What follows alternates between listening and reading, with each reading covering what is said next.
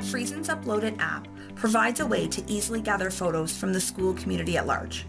First, download the app from your phone's App Store. Once you launch the app for the first time, you will be asked to enter in a validation code.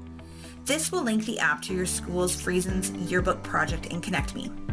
In the app settings, you can change the school or project your app is linked to. This allows you to upload pictures to multiple projects if need be. Once you are connected to a project, there are two simple options. The first, using the top button, an image can be uploaded to the public uploads folder in Friesens ConnectMe from images already saved on the device. The user can add a name or description. The email address will be pre-populated. Click the send photo button at the bottom and the image will be uploaded. The user will receive a confirmation letting them know the image has been successfully delivered.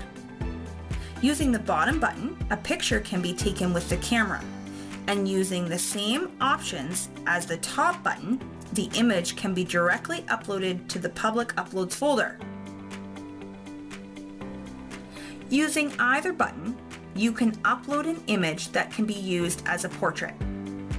By checking off, photo is a portrait. The user then has the ability to add in their first and last name the way they would like it to appear in the yearbook.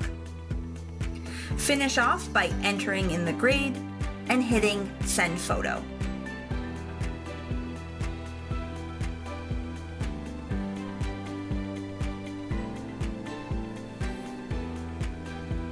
Using Friesens UploadIt app will allow you to have access to a wide variety of photos.